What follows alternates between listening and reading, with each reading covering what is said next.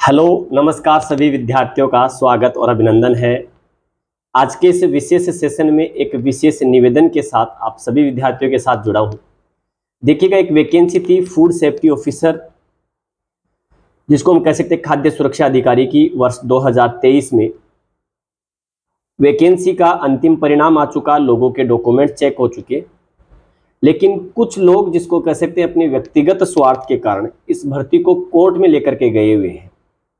और कोर्ट में ले जाने के पीछे कोई बड़ा विशेष औचित्य नहीं है, क्योंकि उनका जो कारण है वो किसी भी प्रकार से लीगल बेस पर कहीं भी सही नहीं है, क्योंकि ऐसा कभी भी किसी भी वैकेंसी में नहीं है और ना ही इसकी विज्ञप्ति में ऐसा कुछ लिखा हुआ है।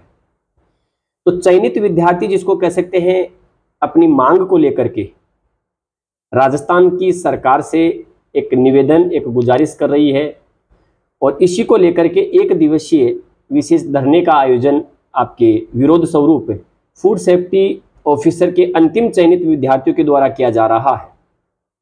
और यह आपके आयोजन, जिसको कह सकते हैं, एक दिवसीय जो प्रोटेस्ट है, ये 9 सितंबर को शहीद स्मारक जयपुर में होगा, सुबह 10 बजे से लेकर के साय के 4 बजे तक। तो सभी विद्यार्थी जो अंतिम रूप से चयनित विद्यार्थी हैं 200 वो तो इसमें ज़रूर पार्टिसिपेट करना ही करना है उनको तो अनिवार्य रूप से। इसके साथ ही एक भर्ती 2019 की भी है, अगर आपको पता हो तो वो भी भर्ती कोर्ट में ही अटकी हुई है, और कुछ ऐसे ही कारणों की वजह से। तो अगर 2019 के चयनित विद्यार्थी भी अगर इस भर्ती प्रक्रिया में अगर विद्यार्थियों का सहयोग करते हैं, साथ देते हैं तो उनका भी रास्ता निकलेगा। और आने वाली जो भर्तियाँ हैं, वो भी आपके क्या होगी? क्लियर होंगी। तो सभी विद्यार्थी इस एक दिवसीय प्रोटेस्ट को सफल बनाने के लिए और अपनी बात को सरकार तक पहुँचाने के लिए इस प्रोटेस्ट में ज़रूर पार्टिसिपेट करें। यह आपका हक है, क्योंकि आप अपनी अंतिम रूप से चयनित विद्यार्थी हैं।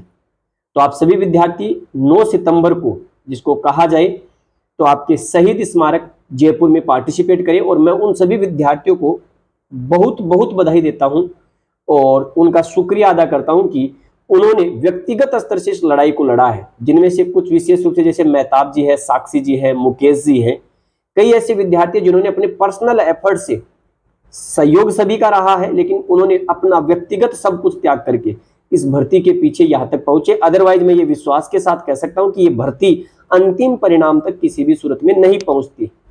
और वाकई में सरकार ने भी एक अच्छी पहल इसमें की कि इस भर्ती को जल्दी से इन्होंने पूरा प्रोसेस करवा दिया और अंतिम परिणाम जारी कर दिया।